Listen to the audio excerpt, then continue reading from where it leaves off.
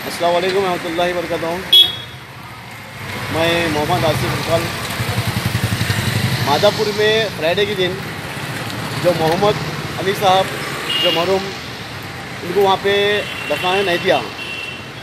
इसकी वजह से आज मैं और हमारे हमानी भाई, हमारे सैयद हाजी साहब और भी मेरी टीम थी, ये सारे लोग हम मिलके मादापुर जाके इंक्वायरी करने वाले थे कि पुलिस वहाँ पे इनको की दफनाएँ नहीं थी।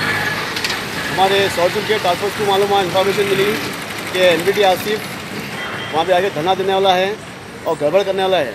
कि पुलिस को इन्फॉर्मेशन मिलते ही सौजन के टीम टास्क की आगे हमें अरेस्टिंग करें और इसके बाद हमको एक पूछे कि क्या करने वाले थे वो। तो मैं भी, हम भी, हम बताए कि हम यहाँ पे हाँ कि हम भी ये बताए कि हम आगे हम सिर्फ़ इंक्वायरी करने वाले थे कि आपको गलत इन्फॉर्मेशन मिली कि कोई हम गड़बड़ करने थे। गड़बड़ करने की कोई हमारी कोशिश नहीं थी कि वहाँ पे इनको मोहम्मद अली साहब को क्यों दफनाना नहीं दिया? हम उस चीज़ की इन्फॉर्मेशन लेने आ रहे थे। वो प्रॉपर्टी क्या की है, किसकी है, क्या चीज़ से है, वो मालूम करने आ रहे थे।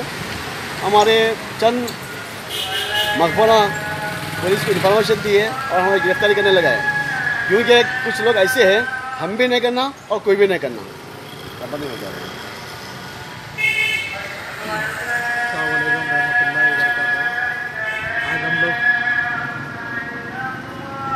मातापुर आज हम लोग मातापुर जा रहे थे। मालूम करने के लिए। में क्यों ने दफना है बोले?